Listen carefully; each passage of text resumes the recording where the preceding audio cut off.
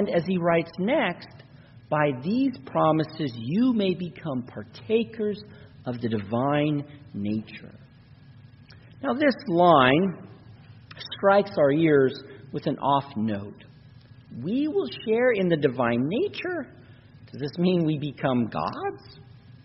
And this has been one way that this line has been understood. Especially in the Eastern Church, this is a major proof text for their position that salvation means our ultimate divinization into the Trinity.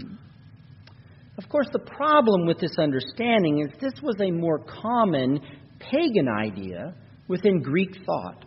Now, Greek ideas varied, but in certain ways and for some heroes, the end goal was to become, in essence, divine.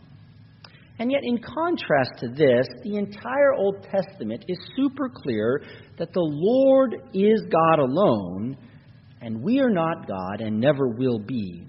The transcendent and inaccessible glory of the Lord can never be attained by humanity.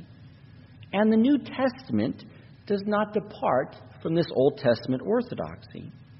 Thus, for Peter to depart from these orthodox roots to pick up an idea from Greek paganism in this one line isn't, real, isn't realistic. Besides, the word here for nature often refers to attributes or characteristics expressed by one's nature. It doesn't mean essence, but one's attributes. Thus, what Peter means is that we will be partners in the attributes of Christ. God remains God, and we will remain human, but Christ will share with us his glorious moral attributes righteousness, purity, and holiness. And Christ will share with us the blessings he won for us resurrection, everlasting life, and incorruptibility. In short, the new creation reality created by Christ's resurrection is our participation in the divine nature. It's our glorification. And this is why these promises are the greatest, no exaggeration.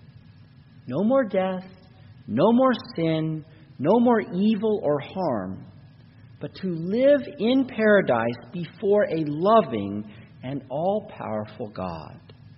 Peace and joy beyond imagination. No philosophy, no government, no technology, and no other religions can make such promises.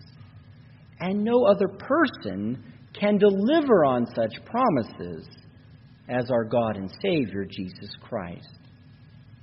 And yet, they are still promises, which means they're yet to come to full fruition.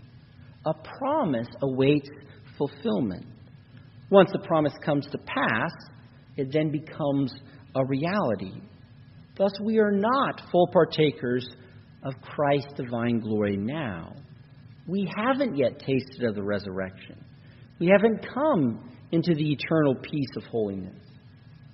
Yet, as Peter says next, we have escaped the corruption in the world by sinful desire. Now, this basically refers to our conversion, our coming to Christ.